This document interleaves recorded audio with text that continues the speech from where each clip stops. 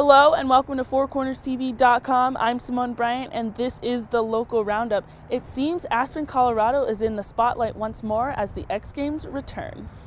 As the X Games kicked off yesterday, the party has just begun. In the Aspen Ski Super Pipe event, Maddie Bowman took the gold. With today's events, ESPN3 and ESPN have got you covered for the latest wins and footage of the games.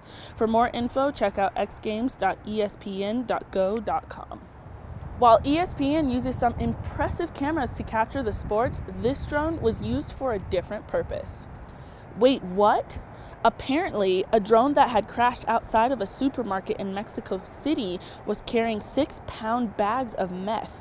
According to authorities, this isn't the first time drones have been used to try and smuggle drugs across the border to America.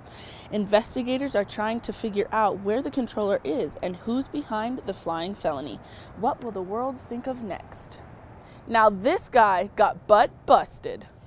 A smoker was caught on a surveillance camera in Singapore throwing cigarette butts out the window of his flat. This being his 34th offense, he was charged with $15,000 and told he would have to do five hours worth of cleaning service wearing that embarrassing bright orange community service jacket. It's a pretty penny to smoke out of a lemur. If you're confused, just catch today's Greenlight episode. We're talking pipes, and it comes a long way since the corncob days. Check the wide variety of smoking devices, including a lemur. That's today at 2 p.m. only on Four Corners TV. But before that, Art Walk season is almost upon us. Our very own Michael Allen talks with the creator of the Farmington Art Walks, and what he gets in return? A healthy dose of area expressionism. Don't miss In the Neighborhood Farmington today at 11 a.m. only here.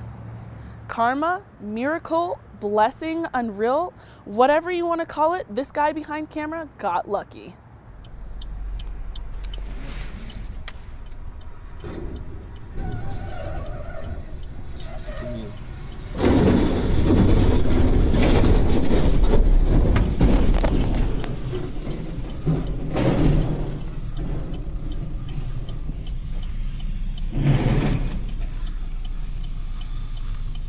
Thanks for watching the local roundup here on FourCornersTV.com. I'm Simone Bryant and we'll see you tomorrow.